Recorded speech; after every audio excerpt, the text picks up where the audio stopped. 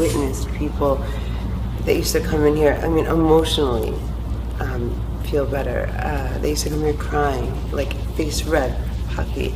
Um, physically uh, fixing imbalances, bringing the body back to alignment, just straight up feeling better in your body. You know, like if you're all tight, like the Tin Man, that's not very comfortable.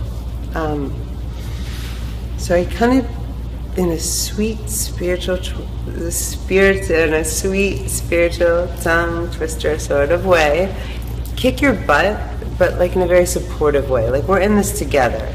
I want you to, sh- to, to show yourself how much stronger you are than you could have ever imagined. I'm just this little vehicle, this little tool, this little thing. You do the work. I'm just honored to be a small part of the process.